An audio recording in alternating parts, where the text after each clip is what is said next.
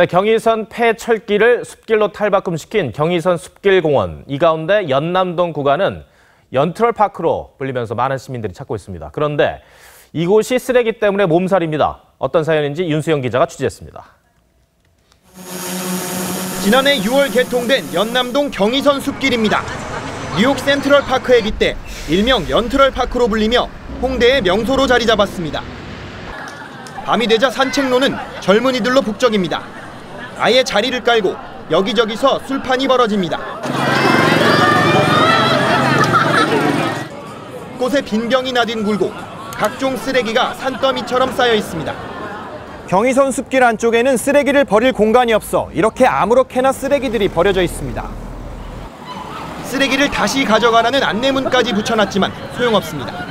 개인 쓰레기 치우는 데는 시간 얼마 안 걸리는데 그냥 하나씩만 자기 것만 잘 가지고 가도 경의선 숲길 6.3km 전 구간에는 쓰레기통이 설치되지 않았습니다. 쓰레기통을 설치할 경우 더 지저분해질 것이라는 우려 때문입니다. 이 주택가하고 바로 저 붙어져 있어요. 그래서 쓰레기통 설치하면은 그저 공원제 자체가 더 지저분해질 것 같고 푸른 잔디로 수놓은 산책로가 각종 쓰레기와 버려진 양심으로 몸살을 앓고 있습니다. TV조선 윤수영입니다.